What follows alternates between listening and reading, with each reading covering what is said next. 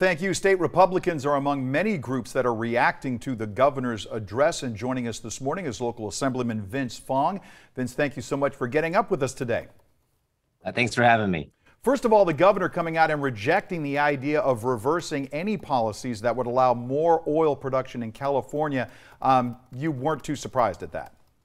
Well, the governor is making a choice now to make our state more dependent on foreign sources of oil. There's there's no question about that. By not allowing for more domestic oil and energy production, that's what he's doing. He has over the last 4 years halted energy production in California and now with the war in Ukraine, we are seeing spiking gas prices. The governor has to ask himself, where does he want our energy to come from that powers our state?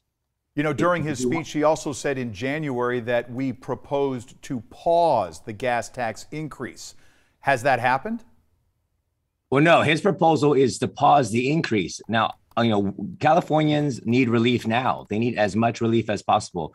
I would say let's suspend the gas tax entirely and backfill it with with the the budget surplus uh, that is ma- now materializing. Um, you know, the governor likes to make political headlines, but he doesn't offer a lot of details, and that's very frustrating. Now, here's another one. He said he'd be working with quote legislative leadership uh, we're assuming with members of his party, to submit a proposal to put money back in the pockets of Californians to address rising gas prices. In the past, for those situations, that type of money, that's, that, you know, returning some of that tax has been pretty minimal. Do you see that as any type of solution?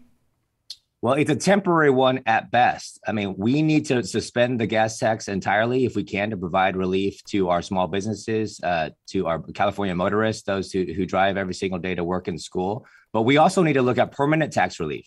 You know, there's an affordability crisis. Uh, you know, certainly the governor finally is acknowledging it, but he is not admitting the fact that his policies are the ones that are causing um, everything to be more expensive in California. And, and so we need to look at permanent solutions, long term solutions uh, that will really provide permanent tax relief uh, for California families. You know, at the start of the, the piece we just ran from the governor's address, he uh, threw in the words petro dictators.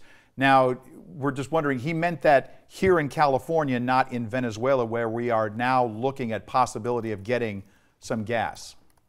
Well, that's the that's the issue because of the policies that have come that are coming out of the Newsom administration, he is making California more dependent on foreign sources of energy. Uh, right now, California uh, is an energy island. I don't think many uh, many of your viewers realize that we cannot uh, get uh, energy from other states. So if, if other states of, of, of around the union uh, decide to increase production, it doesn't mean that California gets more energy. We have to produce it ourselves in California.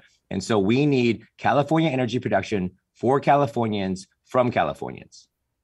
All right, very good. Assemblyman Vince Fong joining us this morning with some insight from the Republican response. We thank you for your time. Thanks for having me.